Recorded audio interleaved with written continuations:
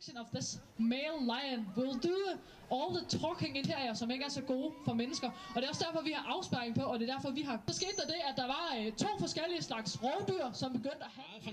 I think it's very important for kids to know uh, how the, the animals uh, look like inside. So and we can do it this way, and we, they tell them uh, how they look. I grew up on a farm, so it's it's nothing for me. But uh, all the kids who are living in, in towns, I think it's it's wonderful for them to see, and it's only natural. So if uh, they disagree to to have zoos to do dissection, it's they they just don't have to visit us.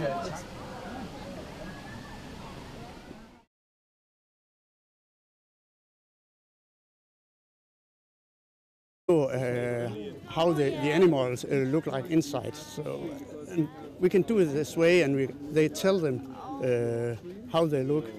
I her, som ikke er så gode for mennesker. Og det er også derfor, vi har afspærring på, og det er derfor, vi har... Så skete der det, at der var øh, to forskellige slags rovdyr, som begyndte at have... I think it's very important for kids to know.